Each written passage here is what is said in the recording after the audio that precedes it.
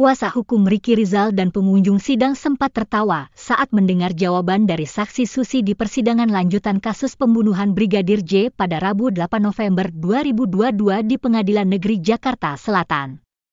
Saat itu kuasa hukum Riki Rizal menanyakan apakah Susi terbiasa mengatakan kata siap. Tapi Susi memberikan jawaban yang berbeda, sehingga mengundang tawa kuasa hukum maupun pengunjung yang lain.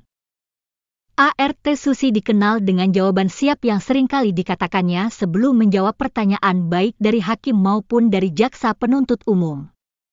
Dalam minggu ini Susi menjadi saksi dalam sidang dengan terdakwa Ferdi Sambo dan Putri Chandrawati.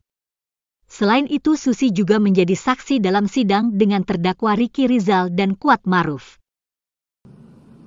Uh, saya cuma mau nanya, Bisu sih kalau jawab siap-siap itu memang udah kebiasaan. Iya kebiasaan swab semuanya yang semua. Biasanya kalau orang sakit kayak bibi dulu sakit terus dipanggil tukang swab juga. Bukan maksudnya menjawab kata siap. Apa pun yang dibicarakan pasti selalu menjawab siap. Iya atau tidak mas? Siap. Apa pun yang dibicarakan pasti selalu menjawab siap. Iya atau tidak mas? Siap